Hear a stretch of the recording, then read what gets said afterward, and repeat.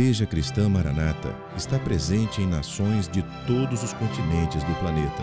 Igrejas de países nas três Américas, Europa, África, Ásia e Oceania, conectadas pela mesma doutrina, pela direção do Espírito Santo de Deus e unidas pela Palavra Viva.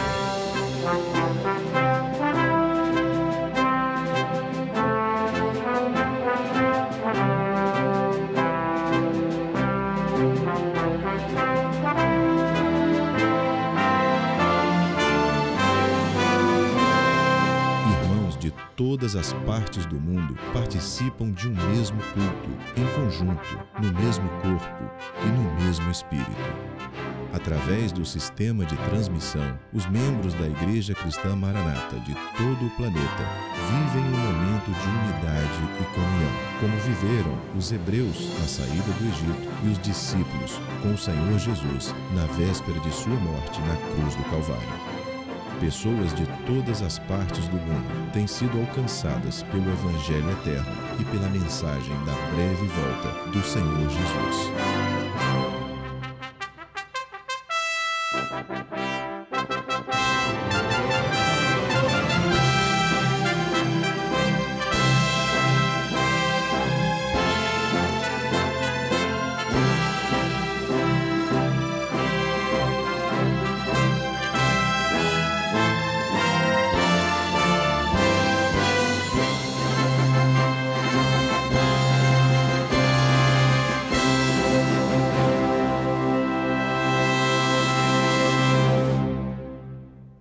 Eu saúdo todos vocês que nos assistem com a paz do Senhor Jesus. Nós somos a Igreja Cristã Maranata. Estamos começando agora mais uma edição de um programa que é feito especialmente com todo carinho para você e para toda a sua família. Este é o programa Anunciando o Evangelho Eterno. Seja muito bem-vindo ao nosso programa, nosso conteúdo de hoje. E eu vou te dizer uma coisa, tá? Em todos os quadros desse programa, nós vamos abordar temas direcionados à doutrina bíblica, com detalhe com linguagens para todas as idades. Eu falei de doutrina bíblica, né? Pois é, a doutrina ela é para nós como um farol que indica a direção que devemos seguir. E vamos seguir essa direção para chegarmos ao destino que esperamos e também para não nos desviarmos deste caminho. Ela é o resultado da soberania de Deus, que estabelece de forma clara e detalhada a forma de vida daquela que ele define, ele, o Senhor, define como a igreja fiel. Não estamos vivendo algo hipotético ou um devaneio de uma pessoa qualquer. O que vivemos é a direção estabelecida pelo Espírito Santo na condução de um povo para a eternidade de Deus. Ao refletirmos, por exemplo, na saída do povo de Israel quando deixou o Egito, vemos profeticamente a saída da igreja deste mundo, rumo a Canaã celestial. Ali Deus estabeleceu na primeira Páscoa as suas orientações, o que era necessário fazer, com uma riqueza de detalhes impressionante. Era a doutrina sendo estabelecida. Só que essa experiência era uma questão prática para aquele momento, mas também profética para nós nos dias atuais. No programa de hoje, no quadro Lições do Manaim, eu recebo o pastor Sérgio Souza e nós vamos receber também um convidado, primeira vez que ele vem.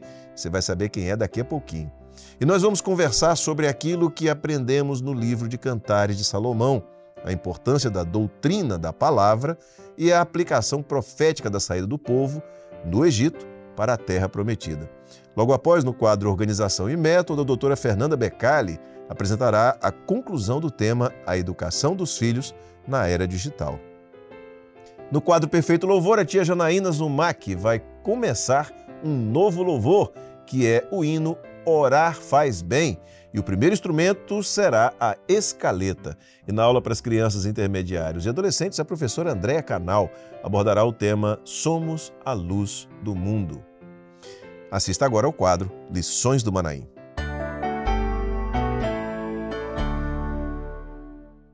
E a gente começa agora o quadro Lições do Manaim, aqui dentro do programa Anunciando o Evangelho Eterno.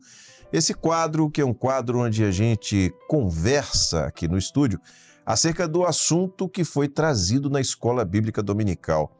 Se você perceber, uh, esse quadro, ele meio que fecha a semana, né? A gente começa com a Escola Bíblica Dominical, a gente tem programação na Rádio Manaim ao longo da semana, programação eh, de respostas dos irmãos no próprio domingo.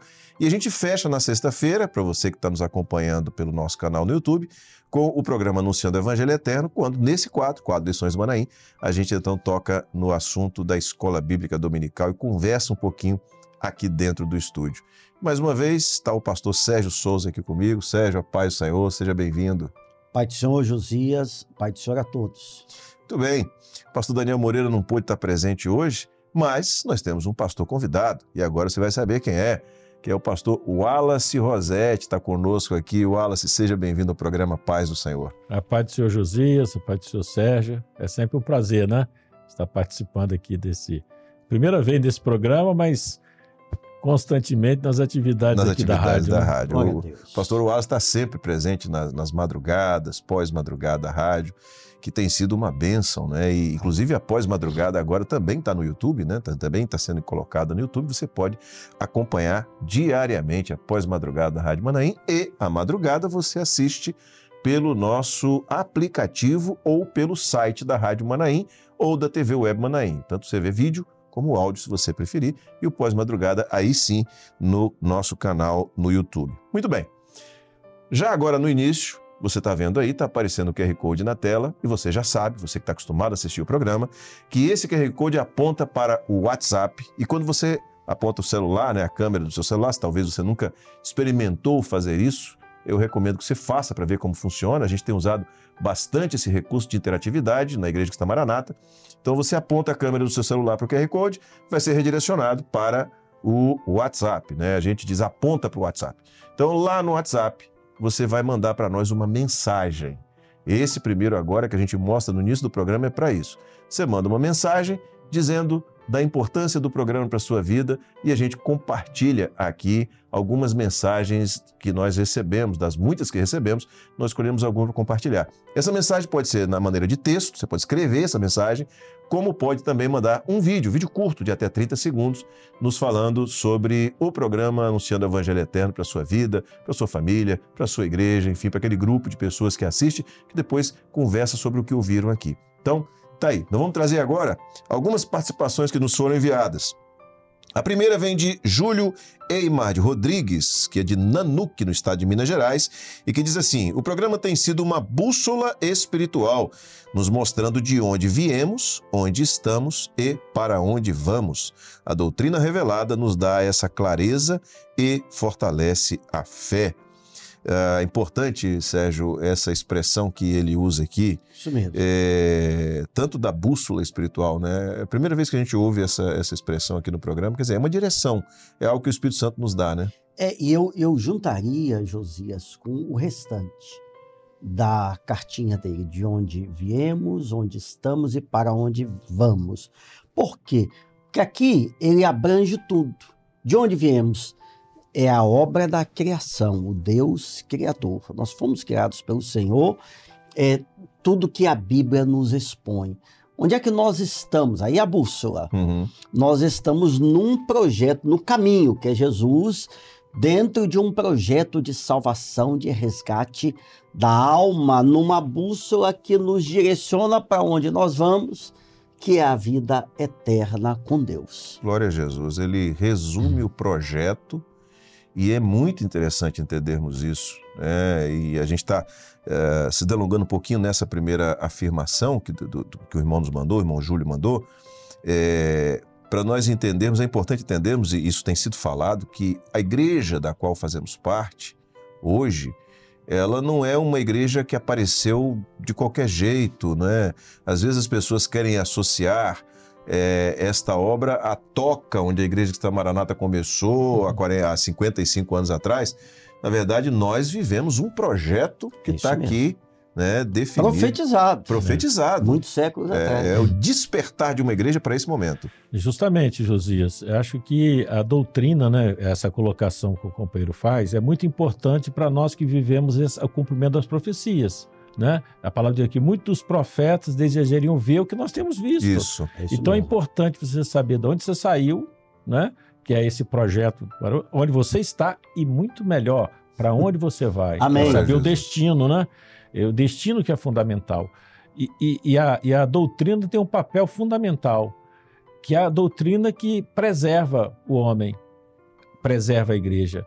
Os embates, as, os questionamentos estão aí, né? As vozes são aí, muitas vozes hoje no mundo que nós vivemos. Mas a pessoa que está com a doutrina firmada, ela não, a mente em Cristo, firmada na doutrina, ela não se deixa levar por qualquer conversa. É, ela está com essa bússola na mão, bem definida, Amém. né? Amém. Para você ver a, a importância da, da participação dos nossos irmãos, nós podíamos até fazer um programa Só com isso aqui. Só com isso aqui, só É. baseado nisso Sobre a aqui. bússola tem É, muito para falar. Tem muita coisa para falar. Vamos continuar, vamos continuar, porque a gente vai. O pastor Wallace acabou tocando num assunto aqui que a gente vai aprofundar daqui a pouquinho, você vai ver. Mas vamos lá. Reinaldo Lebar, que é de Cariacica, Espírito Santo, ele diz o seguinte: o programa tem sido uma grande bênção, pois a cada dia a doutrina está sendo reforçada no meio da igreja fiel. Foi o que o Wallace acabou de dizer. Exatamente. Mais um, mais assim, um- uma mensagem que demonstra que estamos vivendo uma comunhão do Espírito Santo, porque nós vamos entrar nesse assunto aqui Amém. de maneira clara e direta. Mas olha só, além das mensagens mandadas por escrito, nós também temos vídeos, como eu falei, você pode mandar o vídeo. Vamos assistir agora dois vídeos rapidinho eh, que foram enviados. Um vídeo foi enviado pelo nosso irmão Saulo Gama, que é de Linhares, Espírito Santo, e outro vídeo é enviado pela nossa irmã Vanusa, que é de João Pessoa, na Paraíba. Vamos assistir. Irmãos, a paz do Senhor Jesus. Meu nome é Saulo Gama, sou obreiro e instrumentista da Igreja Cristã Maranata, no bairro Conceição, do Ministério Pastor Alex Demo. Gostaria de dizer que o programa Anunciando o Evangelho Eterno tem sido uma grande bênção na vida espiritual de toda a igreja. Deus tem usado com muita sabedoria a vida dos pastores que estão à frente desse projeto e cada programa tem sido um despertamento espiritual, nos preparando para a grande volta do Senhor Jesus. Despeço a todos com a paz do Senhor Jesus. A paz do Senhor Jesus, irmãos. Sou Vanusa, senhora da ICM Gásio, aqui em João Pessoa, do Ministério do Pastor Ednilton Lúcio. Vim aqui contar um pouquinho da minha experiência com o programa Anunciando o Evangelho Eterno. Esse programa tem sido de grande bênção nas nossas vidas. É um programa que traz ensinamento profético e doutrinário das perguntas da Escola Bíblica Dominical. É, tem nos trazido também assuntos é, do nosso cotidiano, né, como a criação, a educação dos nossos filhos nessa nova era, nessa era digital. E não esquecendo do mais importante, é anunciar o Evangelho, é nos preparar para o, o tempo que estamos vivendo, o tempo do breve e a volta do Senhor Jesus. Nos tem edificado bastante. A paz do Senhor Jesus. Glória a Jesus. Eu quero agradecer aos irmãos que participaram, ao Júlio, ao Reinaldo, ao Saulo e a Vanusa, os irmãos que enviaram as suas participações e que né, trouxeram esse, ah, ah, acabaram por contribuir para aquilo que nós já estamos Amém. aqui abordando no programa. Glória a Deus. Bom, entramos agora então no tema. E nós conversávamos um pouco nos bastidores é, sobre essa abordagem que foi feita na última escola bíblica dominical pelo pastor Gedeuti e que ele entrou com essa, esse entendimento da doutrina, a importância da doutrina. Eu queria, que, Sérgio, depois o, o, o pastor Wallace também pode fazer é, um comentário, é, que vocês é, trouxessem, introduzissem esse assunto, né, porque, porque ele amplia já a, a sequência que nós estamos estudando, ele, ele nos dá uma visão ampliada disso. O que, é que vocês podem abordar sobre isso? Vou começar. A doutrina é a base. Porque a doutrina é. Alguém pode dizer, não, doutrina é a Bíblia. Não, doutrina vem a partir da Bíblia. É, há uma expressão que a gente usa, emerge. Emerge, ela nasce, ela Isso. tem origem na Bíblia, trazendo os ensinos através da ação do Espírito Santo. Agora, o, o que é muito importante com relação à doutrina também, porque é um mecanismo, é um instrumento que a igreja fiel utiliza para externar, professar a sua fé ao longo dos anos, desde a igreja primitiva até agora a igreja desse tempo chamado breve dos últimos dias, é a partir da doutrina que a igreja anuncia ao mundo a sua fé, é, é a forma como ela cultua, como ela adora o Senhor, como ela transmite a mensagem. Então, isso tudo é a, é a marca da doutrina. É, é muito, muito importante a questão da doutrina, eu sempre entendo com relação a esse momento profético, né? Porque o que nos interessa como igreja fiel, para a igreja que vive esse momento, é o aspecto profético. E a, e a, do, a doutrina ela vem balizar isso, né? Porque, como você bem falou, Josias, ela emerge da palavra, né? Então, isso é, é fundamental na vida do, do, crente, né? Eu sempre gosto de eu sempre levar para o lado pessoal, né? Uhum. Então, é, isso é interessante. É, é fundamental, porque é, a doutrina, você pega a doutrina na igreja e você pega a doutrina na sua vida pessoal. Você usar essa doutrina, essa doutrina está firmada em você, vocês têm que estar com ela. Por isso que nós temos visto o pastor Gedeuti eh, dar muita ênfase na questão da, da, da escola bíblica, da participação, não é simplesmente numérica, mas sim a pessoa conhecer a palavra, ter a base doutrinária para que ela possa se posicionar diante de Amém. todas essas contestações que está vendo Amém. no mundo. Nós vivemos um mundo em contestação. E se a pessoa não tiver doutrinariamente firmada, ela é, é, é, é presa fácil. Né? Não tem argumento, não, não tem, tem, argumento, defesa. Não tem defesa. Não tem e a doutrina defende. A palavra de Sérgio foi muito bem colocada aqui. Ela defende a nossa fé. Né? Ela defende a, a, vida, a nossa vida como servo do Senhor, principalmente nesse tempo que nós vivemos. É, a partir disso que vocês falaram, e considerando elementos e simbolismos bíblicos, é, nós, nós vemos é, Jesus como o pastor do rebanho. E você usou, Wallace, agora a expressão a doutrina defende. Nós podemos dizer que a doutrina estabelece os limites, é como um aprisco que protege e que define os limites de onde a ovelha precisa estar? É, é, é, é possível afirmarmos isso? Eu acho que tem essa função dupla. São os limites de onde a ovelha deve estar, ou seja, pela doutrina, a ovelha sabe, daqui eu não posso passar, eu não posso sair daqui. E ao mesmo tempo, a outra função, qual é? Ela impede, uma igreja alicerçada na doutrina, ela impede que os lobos, os devoradores, a expressão bíblica, entrem e é, façam algum, alguma ovelha, alguém do rebanho, uma presa sua. Uma presa sua. Verdade. Então, esse aspecto é fundamental. Nós, como igreja, vivemos esse aspecto doutrinário, né?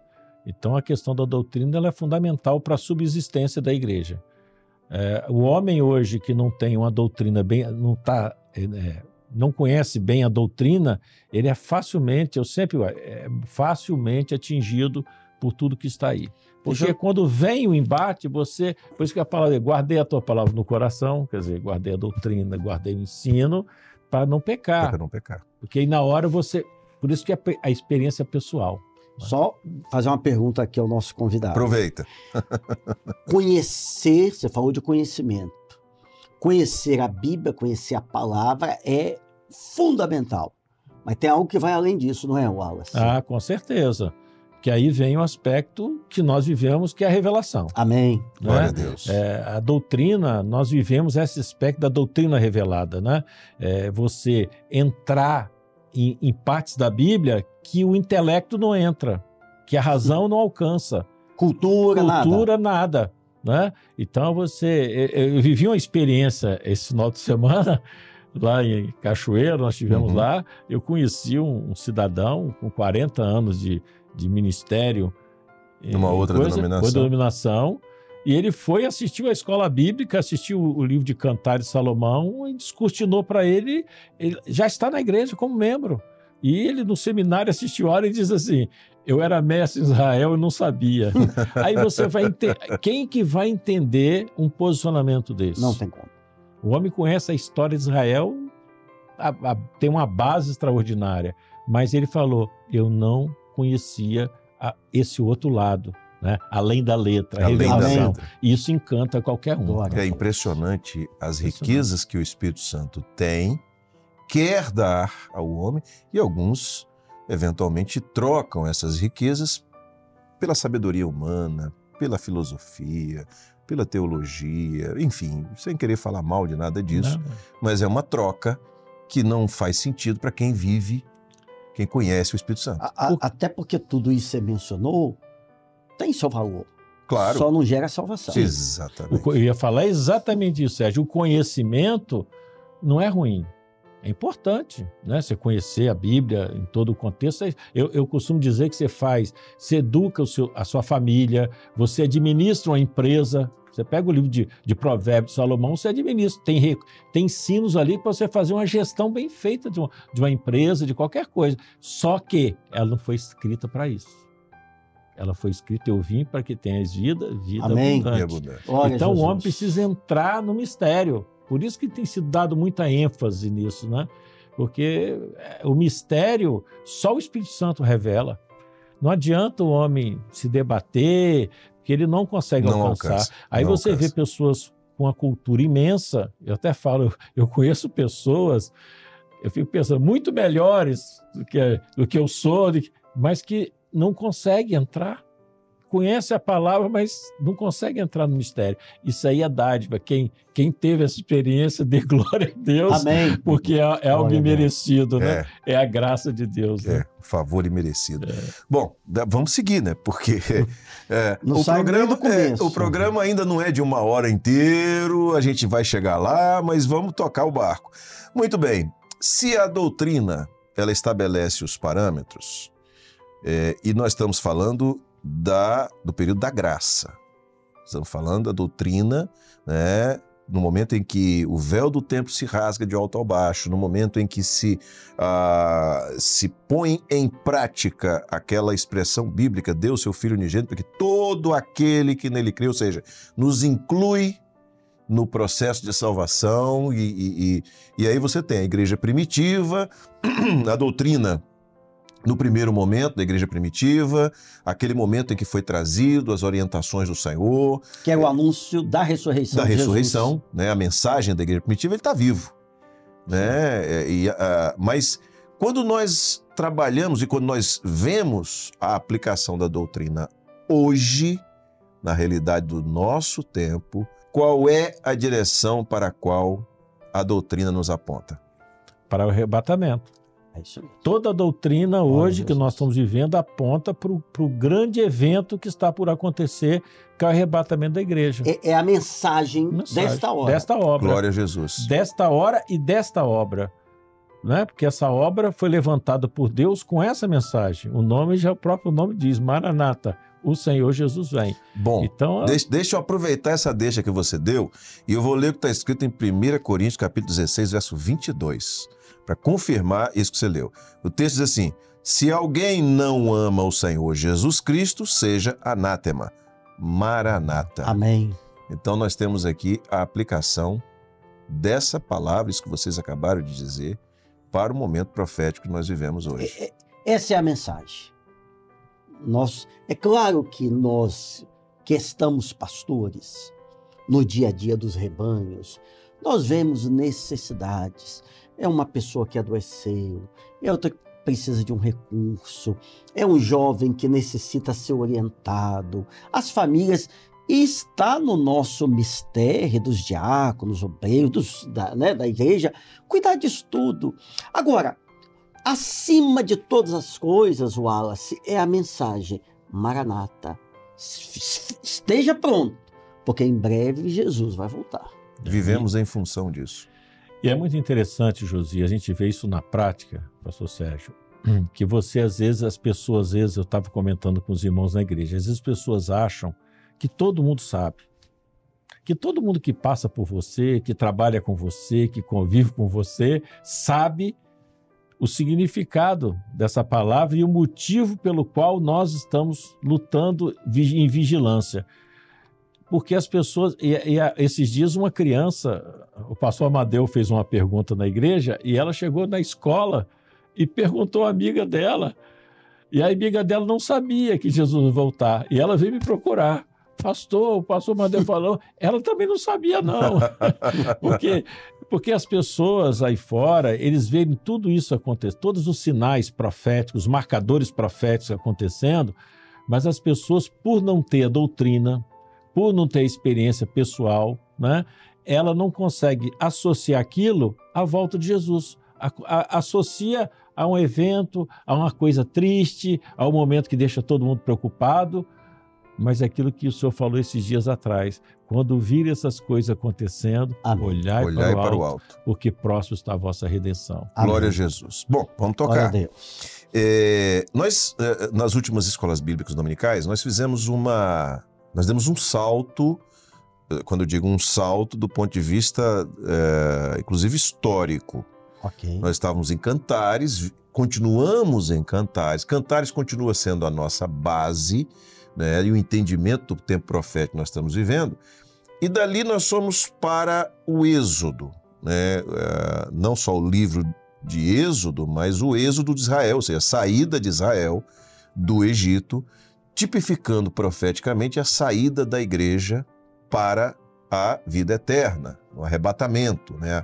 a libertação, ou seja, ah, o momento em que eh, as portas se abrem e, e a igreja sai, e a experiência vivida ali pela igreja. Há um aspecto no Êxodo, e aqui a gente vai fazer trabalhar na aplicação profética, que são as dez pragas.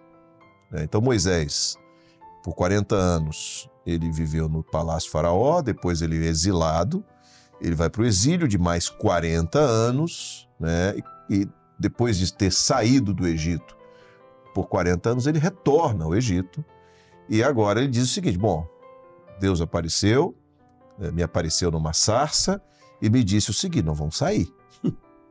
né? Nós vamos sair. Eu, eu gosto muito de, quando eu abordo esse assunto, falar assim: não, mas. Moisés, cadê a escritura da terra? Não, não precisa de escritura. Deus vai dar a terra para nós. Sim, Moisés. Cadê o GPS? Onde é que. É, é até, não, Deus vai mostrar o caminho. Então, é assim, é, é uma experiência de fé completa, do, do, do início ao fim. É a bússola. É a bússola. Mas ali aconteceram uma sequência de dez pragas. Qual a aplicação profética que nós podemos trazer para a igreja hoje é, desse, desse momento, desse conjunto de sinais? Com uma ressalva, ou com um destaque. O, o- todos sofreram, Israel e os egípcios sofreram com as dez pragas. Agora, Israel, o povo, foi preservado. O povo venceu. Apesar do ambiente, das dificuldades impostas, o povo foi preservado. Mostrando profeticamente o momento, Josias e o Wallace, que nós vivemos, chamado na Bíblia de princípio das dores, também conhecido como a pré-tribulação, que é o momento do esfriamento do am- amor, multiplicação da iniquidade, pai contra filho, filho contra pai, as guerras, pestes, todos esses fenômenos geofísicos, essas transformações. A igreja fiel, ela está no meio disso tudo e, de certa forma, ela sofre. Com certeza. Ela é atingida, tem suas lutas, a escassez de alimentos. Agora, ela está preservada. Por quê? Porque a igreja está guardada debaixo do sangue de Jesus e virá um tempo muito pior, que é da grande tribulação. Mas aí a igreja vai embora antes, junto com o Espírito Santo. É, se a gente entrar, no meu caso, se a gente entrar, se aprofundar nessa experiência, a gente não sai daqui hoje. Não. né? Falar sobre o, o É momento muito da rico, saída né? é muito rico. Você tem uma aplicação profética para cada uma das dez pragas, você identifica todas elas no mundo de hoje, no cristianismo de hoje, você identifica todas elas. Mas ah, esse momento da, da, da saída é, é de uma profundidade, é de uma riqueza de detalhes, é de, de- de- é- é- é de algo que a gente vê claramente o momento que a igreja está vivendo.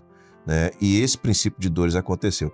É, eu costumo, e aí uma, uma abordagem que eu faço, eu costumo dizer o seguinte: é, o povo de Israel não saiu do Egito com tapinha nas costas. É, você falou, Sérgio, que Israel foi preservado. Né? Israel, na verdade, sofria o reflexo É das dez pragas. né? E chegou um momento em que Israel estava sofrendo muito por conta desse reflexo. E aqui é uma imaginação. É uma imaginação que eu faço. Chegou um momento em que o Egito não servia mais para Israel. Que coisa, hein? Então, é, é, eu costumo dizer, enquanto esse mundo ainda servir para nós, né, o negócio não vai ficar bonito, não. Mas enquanto o Maranata for uma expressão Amém. da alma, Amém. sabe? Amém. De Senhor, Glória a Glória a Deus. vem mesmo que eu quero ir mesmo. Bora. Amém. Senhor, porque o Senhor tem uma terra que emana leite e mel e, e eu tô aqui ainda e esse mundo não me serve É. mais. Né? não nos Então, cabe mais nesse não nos mundo. cabe mais nesse mundo. Não havia mais compatibilidade, né? E, e- e aí é que Israel sai. Então é, é- é algo que, que é profundo para nós, para nós refletirmos. né? Por, que, por que, que o Senhor não tirou Israel sem precisar das dez pragas? Podia. Claro, Ele tinha poder para isso, tem poder para isso. claro. Né? Tem poder para abrir o mar vermelho. Podia tirar o povo de Israel a hora que quisesse. Era tudo profético. Mas é tudo profético. Primeiro que também ele queria dar um ensino para nós, né? Nós Claro. precisávamos entender isso.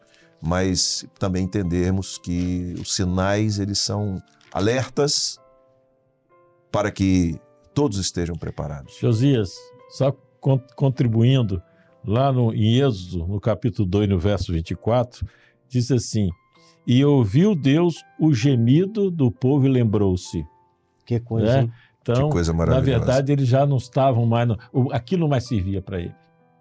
E hoje também há uma igreja também que está gemendo. E o nosso gemido é Maranata. Maranata. O Amém. Senhor Jesus vem. Porque não, não dá mais para viver. O que, o que nós vemos hoje acontecer no mundo, e, e- e a, a- a- chuva e o sol caem para todo mundo, né? como o Sérgio É bem isso mesmo.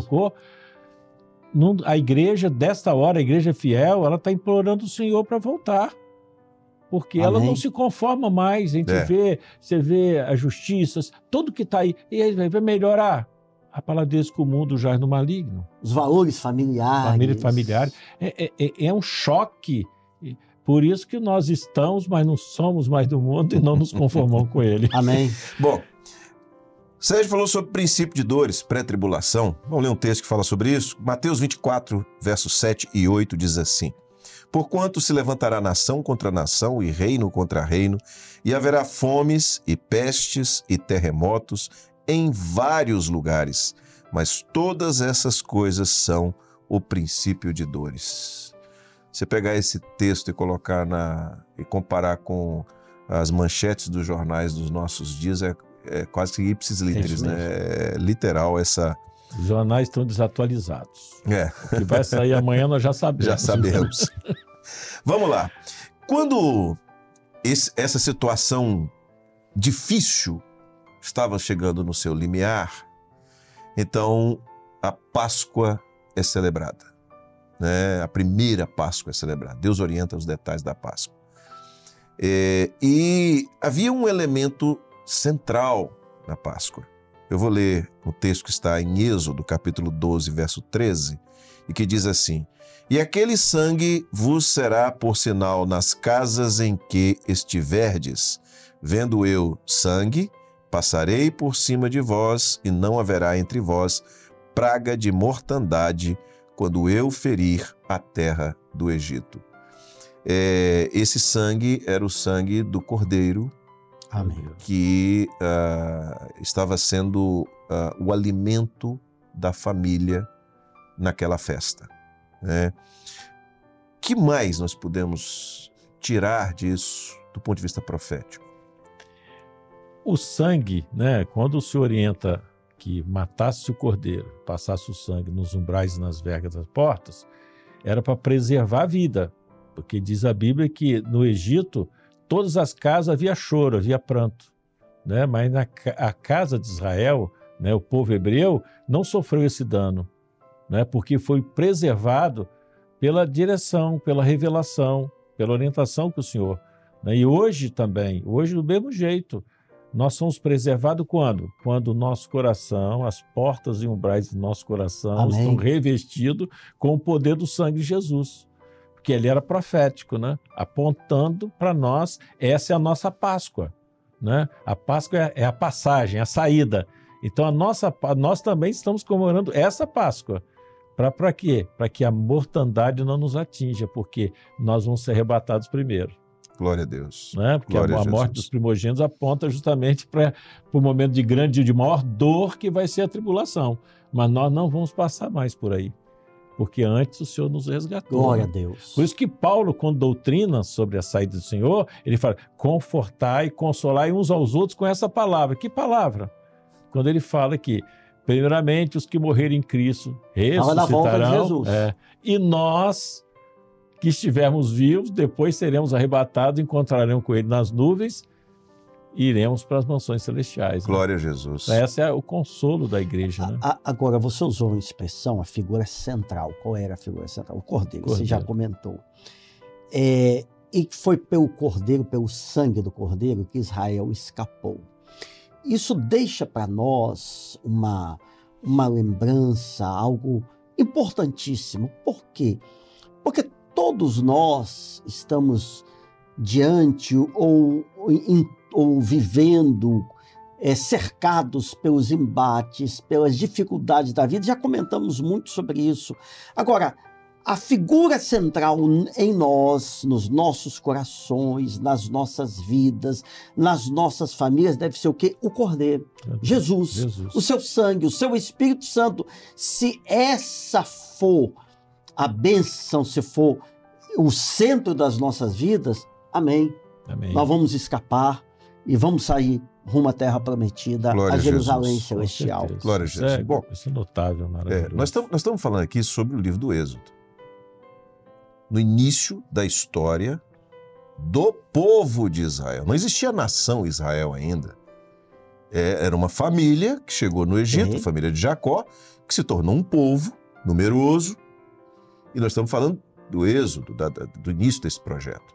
Vamos agora para o Apocalipse, para a gente ver como a palavra, do ponto de vista profético, ela é absolutamente integrada. Apocalipse 12, 11 diz assim: E eles o venceram pelo sangue do Cordeiro e pela palavra do seu testemunho, e não amaram a sua vida até a morte. Glória a Deus. Então nós vemos que essa aplicação, nós estamos, saímos de um ponto a outro da Bíblia, do início para o final da Bíblia, né, tanto sob o ponto de vista da sequência dos livros, como sob o ponto de vista, inclusive, histórico.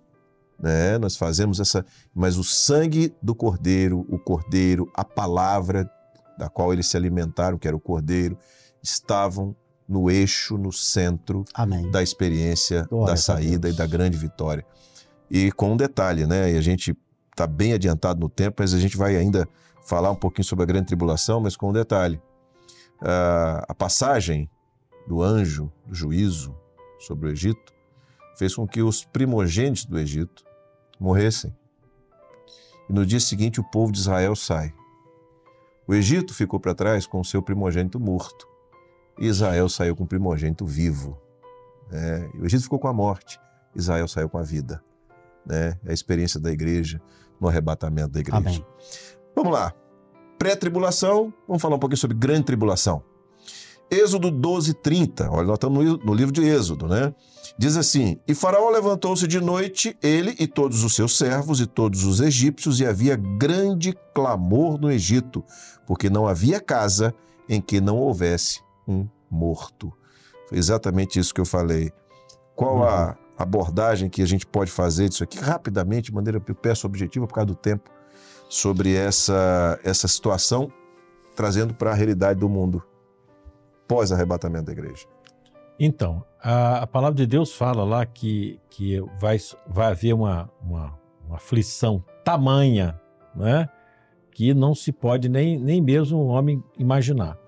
Porque, na verdade, após a saída da igreja, juntamente com o Espírito Santo, imagina, eu fico imaginando, Josias e Sérgio, se hoje, com o Espírito Santo presente, a gente vê coisas acontecendo que nos deixa estarrecido, imagina o dia que a igreja foi embora com o Espírito Santo junto, como é que vai ficar a situação da humanidade? Diz a Bíblia também que muitos desejarão morrer e não conseguirão.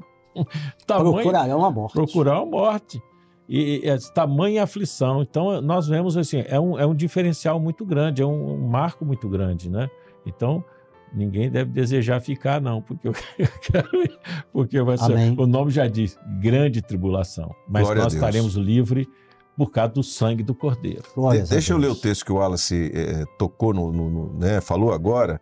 É, Marcos 13, 19 diz assim: Porque naqueles dias haverá uma aflição tal, qual nunca houve, desde o princípio da criação que Deus criou até agora, nem jamais haverá. Então está aqui a, a, a palavra, A igreja já vai ter subido com o Espírito Exatamente. Santo. a palavra fechando isso aqui. Bom, Amém.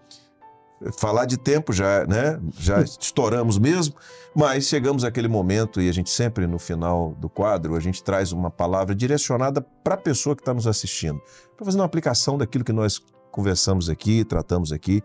Eu pedi ao pastor Sérgio para trazer essa palavra para os nossos irmãos. Um momento difícil, de grandes provas, nós já mencionamos bastante. Agora, nó- nós fechamos aqui essa nossa conversa para reforçar a maior necessidade do homem neste momento, que é ter o sangue de Jesus, o sinal, o seu Espírito Santo, o sangue profético. É por esse sangue que o homem tem acesso à presença de Deus, recebe libertação, perdão de pecados, comunhão, livramento, todas as demais bênçãos e, acima de tudo, claro, a vida eterna com Deus. Louvado seja o nome do Senhor. Bom, a gente agora está mostrando para você mais uma vez o QR Code, a gente está caminhando aqui para o final do nosso quadro. Você está vendo o QR Code agora e esse QR Code ele é diferente do primeiro, a gente sempre faz questão de lembrar isso aí. Esse QR Code é para você nos ajudar a fazer a próxima edição desse quadro. E como é que vai funcionar? Você vai ser redirecionado né, para o WhatsApp mais uma vez, mas lá no aplicativo, quando você chegar lá, você vai ver que tem uma pergunta, tem uma questão que nós estamos propondo para você. né? Aliás, essas semanas são três tópicos, né, que você A, B e C que você Uhum. pode responder, tá lá no WhatsApp e você responde. E quando você responder, você nos ajuda a fazer a Amém. próxima edição desse quadro. Rapidamente, nós vamos aqui trazer ah, comentários que foram enviados para nós de irmãos que fizeram isso na semana passada, falando sobre o programa de hoje. Olha só. Barbosa Alves, eh, eu vou falar aqui eh, Libreville, se for em português, né, eh, Sérgio? Ou então Libreville, se for em inglês. Enfim, fica Mas no... tá na tela. Tá na tela, fica no Pronto. Gabão. Se você sabe como é que escreve, que, que pronuncia isso aqui, você pode falar, fica no Gabão. Ele diz o seguinte: ah, o cordeiro foi alimento e sustento na saída do povo de Israel do Egito. O sangue do cordeiro nas ombreiras e vergas das portas foi um sinal que resultou em salvação e vida. Sem o sangue do cordeiro não há salvação, nem libertação Amém. e vida Jesus. perfeitamente acima daquilo que nós falamos. João Carlos Rodrigues Guariza, de Porto Velho, Rondônia, escreveu o seguinte: O cordeiro, no momento da saída do povo do Egito, foi fundamental, pois por esse sangue os hebreus foram salvos da morte, apontando profeticamente para a nossa salvação e redenção através do sangue do Cordeiro de Deus, o Senhor Jesus. Louvado seja o nome do. Senhor. Bom, chegamos ao final desse quadro, né? E é sempre uma bênção, a gente não, não cansa de repetir isso aqui. Né? Wallace, seja sempre bem-vindo, uma alegria tê-lo conosco aqui e certamente vamos ter a oportunidade de voltar a ter a sua presença participando conosco Glória a aqui. Deus. Amém, Pai Josias. Pai do Senhor, Pai do Senhor, pastor Sérgio. Foi um prazer, né? Participar, é sempre edificante a gente conversar sobre as escrituras, sobre aquilo que nos envolve a cada instante, né? Amém. Foi um prazer. Amém. Sérgio, Pai do Senhor Glória a querido. Deus. Pai de São Josias, o Wallace e a todos. Amém. A educação dos filhos na era digital. Esse é o tema que o grupo de organização e método tem abordado de forma sequencial nos quadros dentro do programa Anunciando o Evangelho Eterno. Ao longo de todo o semestre que passou, as apresentadoras abordaram esse tema que hoje caminha para sua conclusão. Então, no quadro Organização Método de hoje, você assiste a doutora Fernanda Becali discorrendo sobre esse assunto. Eu saúdo a todos vocês que nos assistem com a paz do Senhor Jesus. Hoje, com muita alegria, estamos concluindo uma sequência dentro do programa Organização e Método, que sempre aborda orientações para os pais com base bíblica e científica a respeito da educação dos filhos na era digital.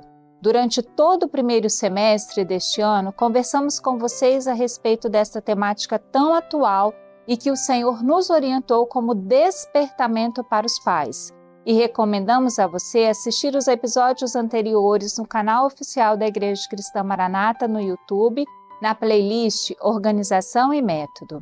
Sabemos que este é um momento completamente diferente do que vivemos como crianças. Como mães e pais, enfrentamos desafios inéditos na educação dos nossos filhos, com demandas tão diferentes para cada família que é única tempos com desafios ainda não vividos antes, especialmente no que se refere ao impacto do uso sistemático das telas na saúde, na educação, no trabalho, no desenvolvimento cognitivo e emocional e ainda nos relacionamentos. Durante todos os episódios, não tratamos a tecnologia como problema, tampouco negligenciamos seu impacto na saúde dos nossos filhos e no bem-estar da nossa casa. Mais do que isso, o Senhor nos desperta para estarmos em alerta para diferentes estratégias deste tempo do breve que nos distraem, nos intimidam, nos adormecem, nos distanciam como família e como igreja. Para as nossas conversas, tomamos como base a Bíblia, nossa referência de verdade, de fé e de prática, as pesquisas científicas, as demandas das famílias e as experiências vividas nas igrejas e nos seminários no Manaim. Assim, conversamos sobre o cenário atual, destacando o que é o ensino da criança no mundo e na presença do Senhor. Alicerçados no que aprendemos com Ana a respeito da educação de Samuel, ensinamos aos nossos filhos que precisamos ouvir a voz do Senhor e não qualquer voz. Ana orou por um filho e ele mudou não só a sua casa, mas a sua geração. O mundo mudou, mas Deus não muda, e na sua direção nossos filhos também podem influenciar esse tempo, sendo servos que usam as tecnologias com moderação, com supervisão e com seleção espiritual. Compreendemos que a dependência digital se refere ao uso excessivo das tecnologias, quando a pessoa, seja ela um adulto ou uma criança, sente a necessidade incontrolável de utilizar as telas, as redes sociais para permanecer conectado não importa o lugar nem as pessoas que estão à sua volta. Ressaltamos a importância das interações sociais entre as crianças e os adultos, entre as próprias crianças, e que o uso excessivo das telas interfere no desenvolvimento da atenção, da memória, da linguagem, do pensamento e da emoção dos nossos filhos. Também refletimos que muitas vezes nós também temos dificuldades para identificar se o nosso relacionamento tem sido saudável ou problemático. E assim entendemos que precisamos nos ajustar para educar os nossos filhos, porque a infância e a adolescência são fases únicas que não voltam e estão passando despercebidas por muitos pais, assim como para muitas crianças e adolescentes que fazem uso excessivo das telas. Conversamos a respeito da necessidade de supervisionarmos o uso das telas com a intenção de preservar a saúde física e mental, o desenvolvimento saudável e a segurança dos nossos filhos. Para isso, propomos seis orientações. Com ele, avalie se os filmes, desenhos, séries, jogos, canais, redes sociais, influenciadores digitais estão alinhados com os valores da nossa família e coerentes com a idade indicada. Conversar sobre a importância de fazer as boas escolhas diariamente bem como o impacto das suas ações. Construir combinados sobre quanto tempo eles podem usar as telas, o que podem assistir, onde, como e quando. Repetir a orientação e acompanhar com permanência para fortalecer o hábito. Conhecer os gostos e curiosidades dos nossos filhos. E ter a senha. Porque o que está em jogo é a segurança e o desenvolvimento saudável dos nossos filhos. Dialogamos a respeito dos jogos eletrônicos online, os aplicativos de comunicação e de mídia, os canais de vídeos, as redes extremistas e mostramos que a segurança é comprometida pela ausência de monitoramento pelas plataformas e pela sociedade.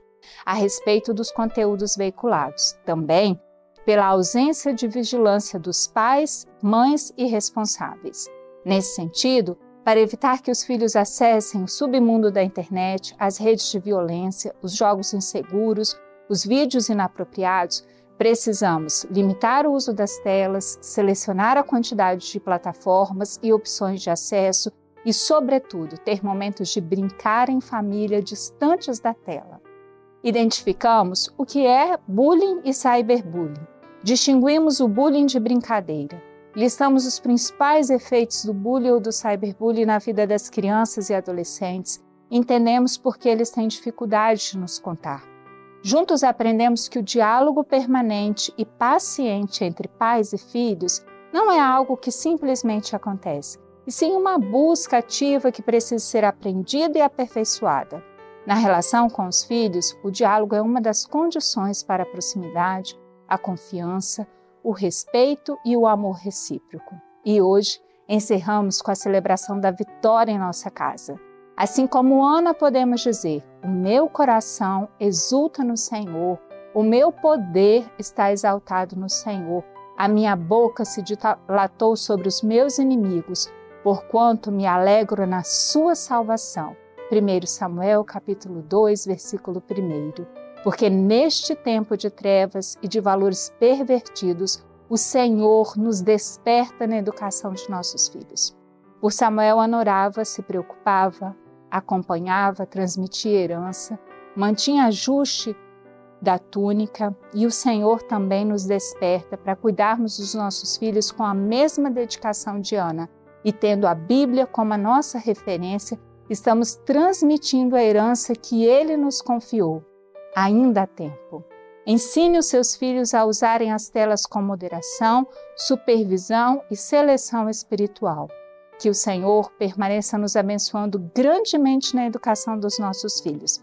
E fique atento ao tema que o Senhor nos orientou para o trabalho no segundo semestre deste ano: a paz do Senhor Jesus.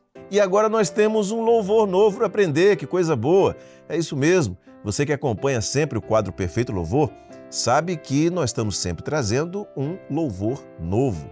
E o hino que a tia Janaína vai trazer hoje é Orar Faz Bem. E agora é para quem está tocando a escaleta, tá certo? Então você já sabe, né? Pega o seu instrumento e vamos aprender. Olá, classes, irmãos, a paz do Senhor. Que bênção poder estar aqui com vocês. E glória a Deus por mais uma semana de grandes vitórias que o Senhor nos deu. Na aula passada, a tia ensinou sobre alguns sinais, símbolos musicais novos. Vocês estão lembrados? Sobre o estacato, sobre a linha que vai tocar uma oitava acima, falamos sobre a apogiatura, que é aquela notinha pequena que devemos tocar bem rapidinho.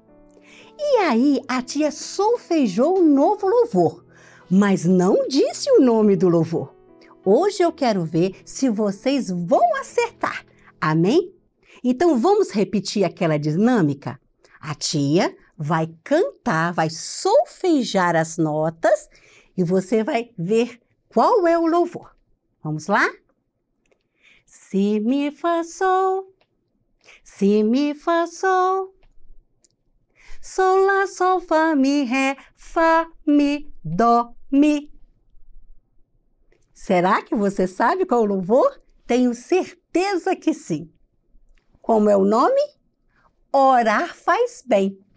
Muito bem. Eu tenho certeza que você acertou. Parabéns! Agora vamos ver quais as notas que nós vamos tocar na escaleta na introdução deste louvor.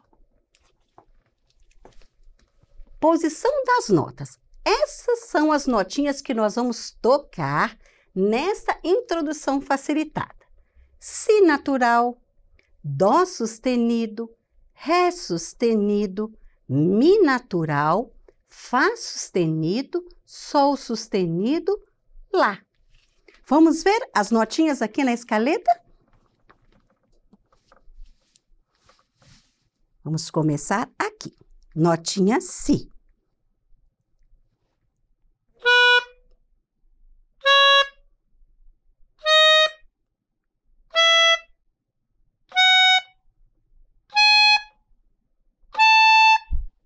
Então será de si até a nota lá. Agora vamos conhecer a partitura. Ah, eu tenho certeza que vocês já sabem que quando nós temos Fá, Dó, Sol, Ré sustenido, nós estamos no tom de Mi maior, o mesmo tom do louvor anterior. E agora, que compasso? Compasso quaternário. Nós vamos ter quatro tempos para cada compasso. Lembrando que aqui, quando nós vamos iniciar, tem uma anacruza. Nós já aprendemos sobre isso. Olha, quarto tempozinho está aqui, vai iniciar o compasso com um, dois, três, quatro. Estudamos sobre o estacato. Essas notinhas são tocadas bem rapidinho. Aqui temos a linha de oitava acima, que este louvor é bem agudo. Várias pausas. Pausa de colcheia, meio tempo. Pausa de semínima, um tempo. Temos também a pausa de mínima, olha, dois tempos. E aqui aquela notinha rapidinha, apogiatura, que vai ser bem rapidinho. Sol lá, sol lá, a tia circulou as notas que são alteradas, que vão ser tocadas na teclinha preta. E no final aqui também nós temos a pausa de colcheia e semínima. Só que aqui já vai entrar cantando louvor. Então vamos solfejar correspondente ao tempo. Si, mi, fa, sol. Si, mi, fa, sol. Sol, Lá, Sol, Fá, Mi, Ré, Fá, Mi, Dó, Mi. Pausa. Agora vamos solfejar juntinho com a tia, lendo as notas correspondente ao tempo. Vamos lá? Si, Mi, Fá, Sol. Si, Mi, Fá, Sol. Sol, Lá, Sol, Fá, Mi, Ré, Fá, Mi, Dó, Mi. Ora faz bem. Amém? Agora nós vamos tocar. Esta primeira vez, a tia vai tocar devagar, tá bom? Vamos lá. Polegar, primeiro dedinho na nota Si. Observe, do Si, nós vamos com o segundo dedo na nota Mi. Aqui, a tia Jana não colocou o dedilhado para deixar vocês bem à vontade. Mas eu vou começar com meu dedo primeiro, polegar na nota Si e logo vou abrir o segundo dedo na nota Mi. Vamos lá.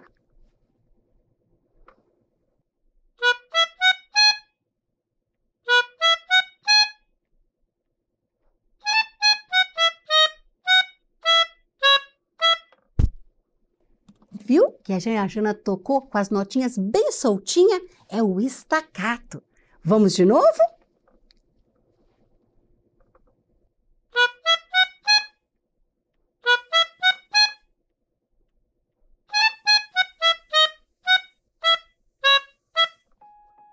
Muito bom. Agora vamos combinar de você estudar bastante certo? E na próxima aula vamos aprender na flauta doce e também na escaleta novamente, porque a partitura agora será mais facilitada. Vamos tocar conforme está no projeto Aprendiz Júnior. Amém? Um abraço para vocês e a paz do Senhor. Você já percebeu que o servo de Deus tem hábitos diferentes dos hábitos das outras pessoas? Isso tem um motivo. Quando o Senhor Jesus entra no coração de alguém, essa pessoa é transformada pela ação do Espírito Santo e se torna alguém muito melhor do que era antes. Isso acontece porque quando Jesus está no nosso coração, a nossa candeia está cheia e a luz que brilha nessa candeia ilumina a nossa vida e ainda todos à nossa volta, nossos amigos, nossos parentes, nossos vizinhos, todos podem ver que há algo diferente em nós. que é essa luz em nossas vidas. Hoje, na aula para as crianças intermediárias e adolescentes, a professora Andréia Canal vai nos falar sobre o tema Somos a Luz do Mundo.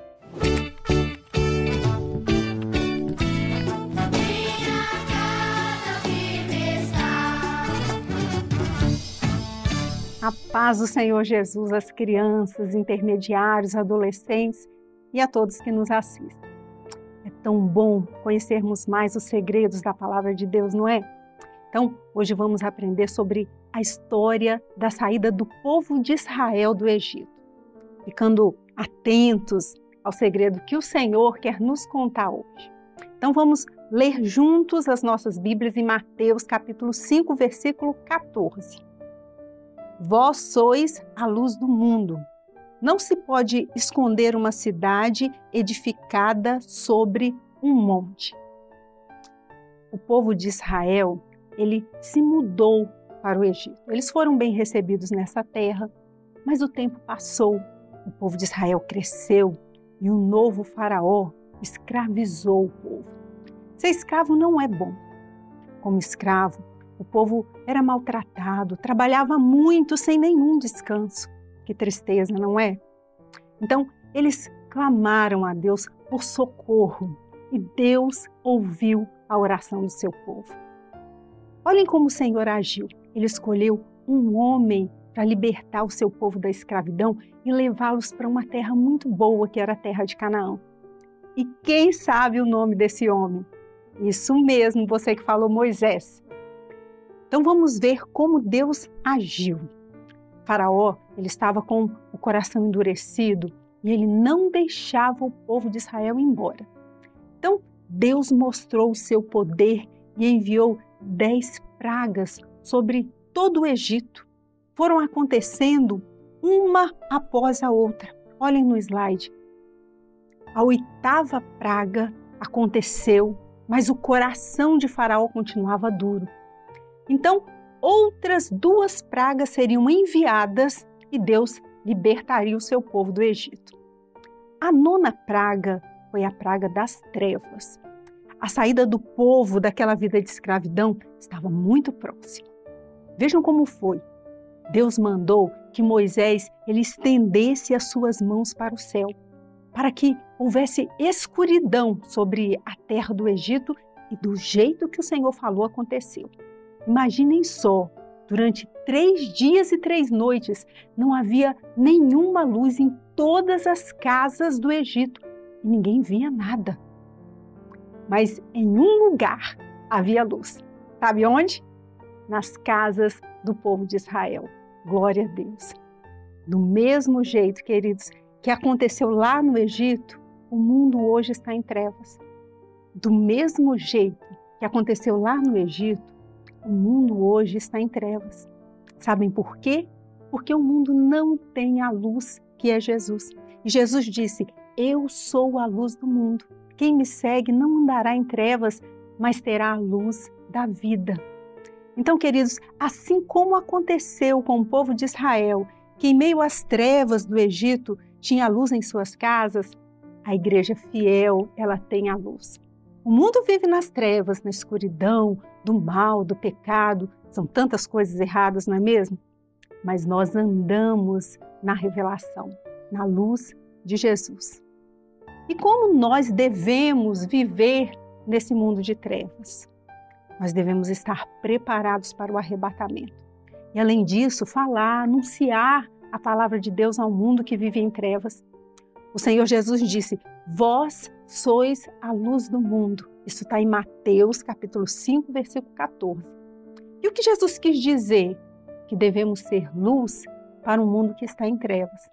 Se você tem o Espírito Santo de Deus dirigindo a sua vida, você é luz. E todos que estão ao seu redor, todos que convivem com você, vão perceber que você é um servo, uma serva do Senhor. Vamos pensar. Estamos sendo luz para os nossos colegas de escola, os nossos amigos e familiares? Nós estamos obedecendo aos nossos pais? Estamos tratando bem os nossos irmãos em casa ou estamos sempre brigando? Eu estou ajudando em casa quando minha mãe pede ou estou sendo preguiçoso? Nós estamos convidando os nossos familiares para irem ao culto na igreja. Queridos, a palavra do Senhor é: agora sois luz no Senhor, andai como filhos da luz. Então, queridos, nessa hora em que se aproxima o arrebatamento da igreja, o mundo ele está em trevas. Mas nós, nós que somos filhos da luz, que é Jesus, devemos resplandecer sobre todos ao nosso redor. Vamos ser luz nesse mundo de escuridão até o grande dia que o Senhor Jesus vai voltar para arrebatar a sua igreja fiel. Amém? Glória a Jesus, a paz do Senhor Jesus a todos. Em todas as edições desse programa, aqui no finalzinho, a gente sempre fala daquele projeto que é maravilhoso, que aliás tem experiências notáveis e que você também pode se beneficiar desse projeto. Você sabe, né? É o projeto de assistência espiritual da Igreja Cristã Maranata.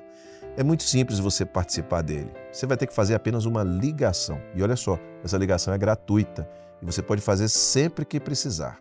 O número é esse que está aparecendo aí na tela. Anota aí para você não esquecer: 0800 707 376. Você pode ligar ou pode enviar para alguém que está precisando. Por quê? Porque quando você ligar, a pessoa que vai te atender vai primeiro transmitir uma palavra da parte do Senhor para a sua vida, vai orar por você e isso é maravilhoso. É uma assistência que você não encontra em todo lugar, uma assistência espiritual. Vou repetir, tudo totalmente gratuito. Tem um QR Code aí ao lado do número, se você quiser, ainda pode apontar a câmera do seu celular para ele e o aparelho já vai te, te redirecionar para a ligação. Você não precisa nem digitar o número, tá? Mas eu quero chamar a atenção para uma coisa. Nós não vamos te pedir qualquer contribuição financeira. Sequer oferta, não queremos nada disso. Queremos seu dinheiro. É tudo de graça mesmo. Ligue sempre que você precisar e compartilhe esse número com as pessoas que você conhece. Quer conhecer mais sobre a Igreja Cristã Maranata e também sobre os nossos projetos? Muito simples, é só acessar as nossas redes sociais. Você também pode baixar os aplicativos da Igreja Cristã Maranata e da Rádio Manaim. Lá na rádio você ouve louvores e mensagens bíblicas 24 horas por dia e ainda pode compartilhar os nossos conteúdos. E você que está nos assistindo aqui no YouTube, você sabia que no, nesse canal, no nosso canal aqui, você encontra uma quantidade notável de conteúdos e que com, temos também uma programação adequada para você e para toda a sua família, essa é a nossa realidade. São mais de 6 mil vídeos postados aqui. Mas eu quero chamar a atenção para um conteúdo que é especial: a Escola Bíblica Dominical. Todos os domingos, às 10 horas da manhã, em ponto, nós postamos aqui, nós transmitimos ao vivo a Escola Bíblica Dominical da Igreja que está Maranata. E aproveita, não se esquece de curtir o vídeo e de compartilhar os nossos conteúdos. Aproveita também, aciona o sininho para ser notificado daquilo que é postado todos os dias para você. E agora a gente chegou ao final dessa edição do programa Anunciando o Evangelho Eterno. Na semana que vem, se o Senhor permitir, estaremos juntos mais uma vez. Maranata, o Senhor Jesus vem!